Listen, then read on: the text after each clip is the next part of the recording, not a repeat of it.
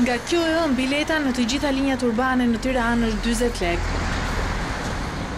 Qytetarët që frekuentojnë rregullisht transportin publik thonë se veç rritjes së çmimit, asgjë nuk ka ndryshuar. Unë shoh oraret, se këtij autobuzi oraret s'kanë ndryshuar. Çdo gjysore vjen ajo e vilave gjermane.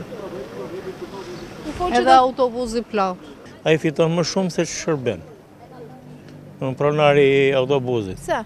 Po nafta bie. Dhe duhet të ulet akoma më tepër. Se të gjithë pretekstin ke nafta e kanë. Kështu që duke rënë nafta ti pse rrite çmimin? Studentë dhe përfaqësues të shoqërisë civile kanë protestuar para bashkisë. Ata u kanë bërë thirrje qytetarëve të bojkotojnë linjat urbane. Të anulohet vendimi për rritjen e çmimit të biletës. Dy, ne jemi për transport publik. të lirë dhe cilësor.